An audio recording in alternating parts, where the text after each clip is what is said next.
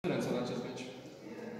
Nu știu dacă aș putea să spun un anume, un anumit aspect unde s-a făcut diferența, cred că au fost chestiuni la toate capitolele. Dorință, apărare, atac, poartă și absolut tot ce e joc de De ce ai dat cu Uh, da, nu știu. Ceva. Mie, mi-e greu să, să explic de ce am la finilor. Probabil uh, e ceva din, uh, din suflet și mie, mi-e greu să, să explic de ce echipa noastră a ajuns să presteze un astfel de joc ca cel de astăzi. E cel mai slab meci al CSM-ului de când joci aici? De când, În joc altceva? eu aici, de când joc eu aici, da. Au fost cu siguranță înfrângeri nu mai uh, usturătoare ca și scor, dar nu la fel de dureroase, cel puțin pentru mine, ca și atitudine și ca și nu știu, tot ce s-a întâmplat astăzi. Ana urmează totuși două meciuri mai facile. Dacă le câștigăm, e, crezi că se bă, rezolvă, nu știu, și atmosfera, și tensiunea mai uh, scade? Ce părere ai? Uh, nu știu, uh, nu știu să vă spun cât de facile sunt după jocul prestat de noi astăzi. Nu mai putem spune, cred că despre niciun joc că este facil sau nu.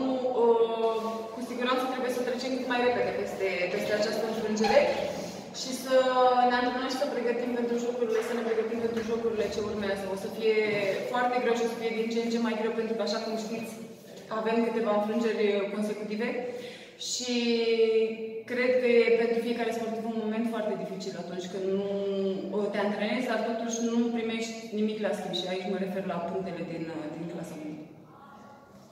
Care a fost atmosfera în vestiar după meci?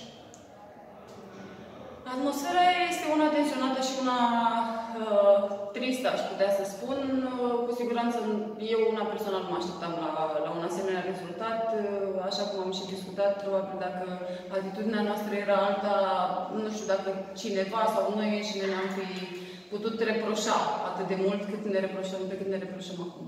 Ana, ar trebui să ne facem griji în ceea ce privește evitarea trădării? E prea la cald să vă dau un răspuns.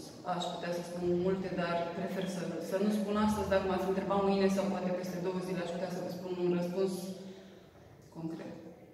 Dar nu pot. Vina este. Nu, nu, nu știu. E foarte ușor în momentele astea dificile. Mi se pare foarte ușor să aruncăm vina din stânga în dreapta să, și e normal cumva ca uh, lumea să caute vinovați. Cred că de la cel mai mic până la cel mai mare suntem vinovați cu toții pentru tot ce s-a întâmplat astăzi. Cu toate acestea, publicul va aplauda la final. Da, vreau să le mulțumesc din suflet uh, chiar în timpul meciului, ceea ce mie nu mi se întâmplă niciodată, pentru că sunt, e ca și când aș avea urechile închise.